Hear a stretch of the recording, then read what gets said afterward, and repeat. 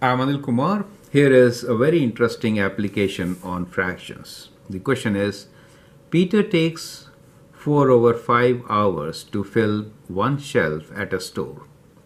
Sam takes half the time to fill similar shelf. They work together. How much time will they take to fill 15 shelves? That's the question for you. You can pause the video, answer, and then look into my suggestions. Now let us write down what is given to us. It is given that time taken by Peter to fill one shelf is 4 over 5 of an hour to fill how many shelves? One shelf. Okay. Now Sam takes half the time to fill similar shelf. Now how could you incorporate this part? Sam takes half the time to fill similar shelf. Half of you could do two ways, right? You could do, you could say half of this time to fill one shelf. So this is for Peter. The first one is for Peter. Okay. Now we are talking about Sam. Sam takes half the time, so you could do half of this time. That means he is faster, right? You could say 4 over 10 hours to fill one shelf. Or I will say, you could also write you will take 4 over 5 hours to fill two shelves. How about that? Two shelves. Do you see that? So instead of uh, one, in the same time, Sam can fill two shelves.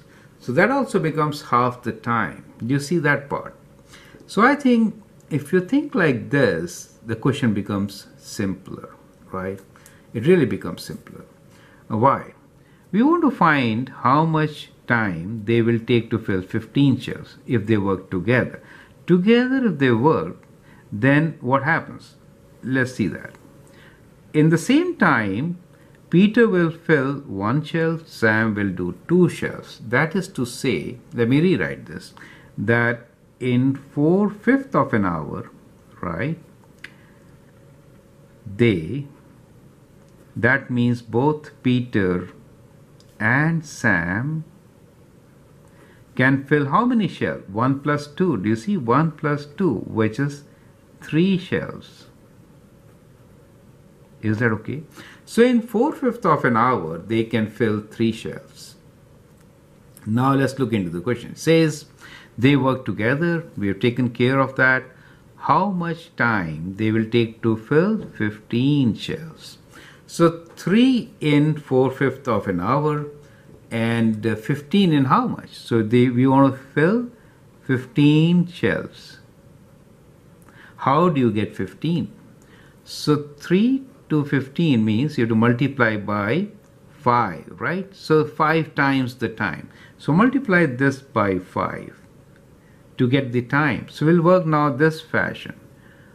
For filling 15 shelves, how much time do they take?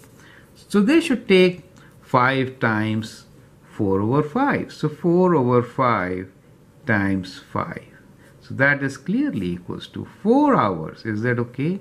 So in 4 hours they will fill 15 shelves. Now once you know that, you can answer the question directly.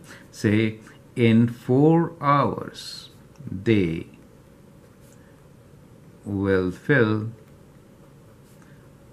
15 shelves together. Do you understand? So that is how you could actually solve such questions. I'd like you to go through this video to understand the concept. So we began by what is given to us, right?